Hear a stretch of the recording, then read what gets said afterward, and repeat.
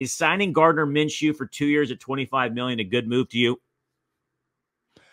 I think it's a it's a band-aid. I think it's a bridge. I would not be surprised if the Raiders were still going to go after a quarterback in this draft uh, for a Michael Penix or Bo Nix or somebody like that. JJ McCarthy, who knows? I wouldn't be surprised. I think that obviously we see that the Raiders don't have the utmost confidence in Aidan O'Connell. We clearly see that by them signing the Gardner Minshew.